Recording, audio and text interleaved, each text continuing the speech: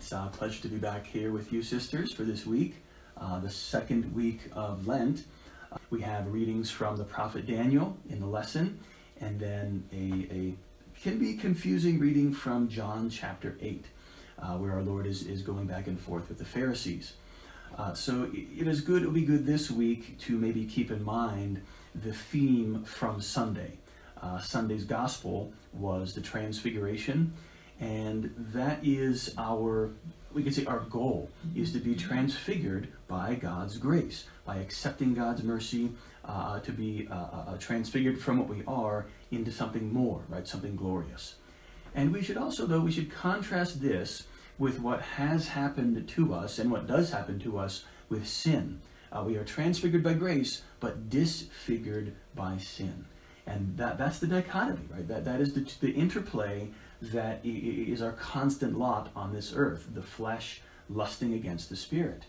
And, uh, and this is what, you know, in, in, in the gospel, this is what the Jews have a hard time accepting in that they, we are disfigured by sin, and despite our best efforts, uh, we can't raise ourselves out of that, right? We're, we're not going to be able to accomplish that on our own.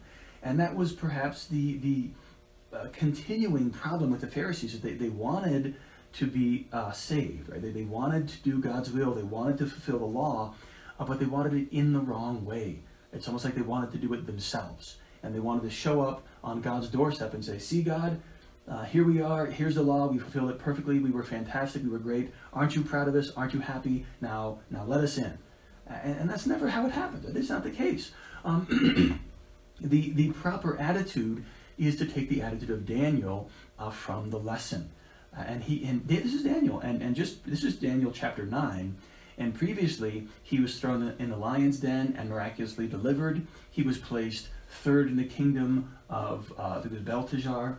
Um, he was uh, made uh, a great prince by um, uh, Darius. Uh, and so he had every reason to think that he, he was um, capable, he was competent, he had not sinned, he was blameless before the Lord. but when he prays, he says, Lord, we have sinned in your sight. We are justly punished for your afflictions. And this has been the, the, the theme all of last week as well. Uh, there's a term today they call, um, they say, extreme ownership, which is don't make excuses, don't blame other people if, if, if um, there, there's some kind of unpleasant circumstance, and maybe you didn't, maybe it's not entirely your fault.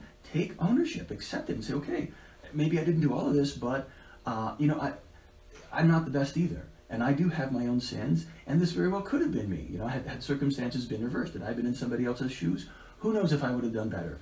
It, it doesn't matter. This is the case right now, and this is what we have, and this is what I'm going to accept. Right? That, that is ownership, and that is what Daniel does. We have sinned, we have transgressed thy law, we are justly punished for our sins and the sins of our fathers. Right? He doesn't sugarcoat it either. He doesn't try to defend or protect and say, oh, everybody who came before us is wonderful. He doesn't do that. He says, yeah, they have problems. They sinned. But we have sinned too. But he doesn't blame them. He doesn't praise them. He accepts reality for what it is, accepts truth, and he moves forward from there. And what does he say? Show us thy mercy, not on any righteousness of our own, but because of the multitude of thy mercies. That is why God uh, uh saves us. That is why God redeems, is because he is merciful, not because we are just. Uh, now, St. Augustine uh, says in his commentary on today's gospel that our Lord says to the Jews, uh, You shall seek me, and you, you, shall not find me, and where I go, you cannot come. And like, what, what does he mean by this? You know, you shall seek me, and uh, is he going to kill himself? And it is a little bit true there. Like, he was going to, to die, he was going to enter death, but after that, he was going to enter the kingdom of his Father. And this is what he means when he says, You cannot come. You cannot enter into that kingdom, the, the, the, the blessed kingdom of heaven, because you are not going to repent. You are going to die in your sins unrepented. Augustine notes that um, uh, Christ says this to his apostles, Where I go, you cannot come. But he doesn't say, You shall die in your sins. And the meaning there, St. Augustine uh, points out, is you cannot come yet. You cannot come right now. But he, because he didn't say, You will die in your sins, it's implied that you cannot come now, but you will later.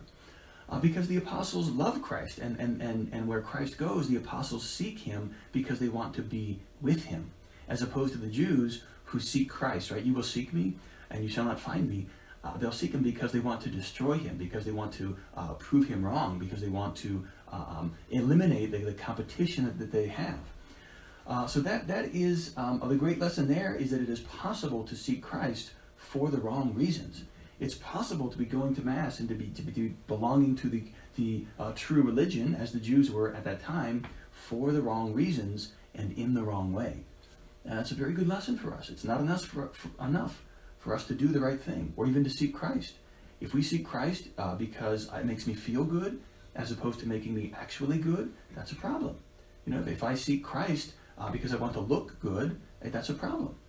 Uh, so we have to really examine that. Right? we can't rest and say, well, I'm doing the right thing, or God commanded this and I'm doing that. Why are you doing that, right? Why are we doing what we're doing? What's our motives and what's our reasons? Uh, so we have to be very, very honest with ourselves about that. And Christ says, you know, I have much to condemn. Speaking to the Pharisees, I have much to condemn, much to speak. But what does he speak?